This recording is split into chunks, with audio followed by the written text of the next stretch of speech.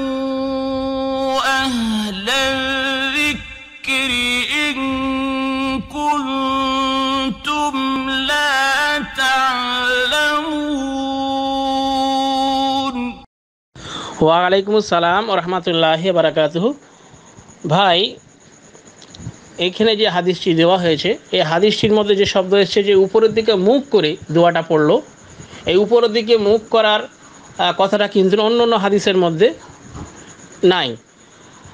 যেটা সাহি মুসলিমে হাদিস আছে, যে ব্যক্তি ভালো করে উজু করবে, তারপরে দোয়া পড়বে, আশহাদু আল্লাহ ইলাহা ইল্লাল্লাহু ওয়াহদাহু শারীকা লাহু ওয়া আশহাদু আন্না মুহাম্মাদান আবদুহু রাসূলুহু।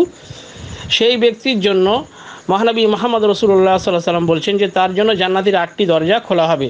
সে যেটা দিয়ে ইচ্ছা জান্নাতে ঢুকতে পারবে।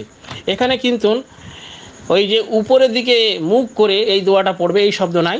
তাই সেই হাদিস, সেই মুসলিমের, আর এখানে মুসনাদ আহমদের যে হাদিসটা রয়েছে, এটা সহি নয়। যদিও কেউ বলে থাকে সহি, সেটা তার তাকরিজে।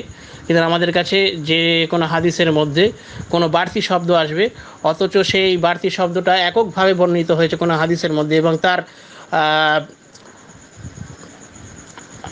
রিজালের মধ্যে কোনো অসুবিধা আছে? সেখানে সেটা গ্রহণযোগ্য নয়।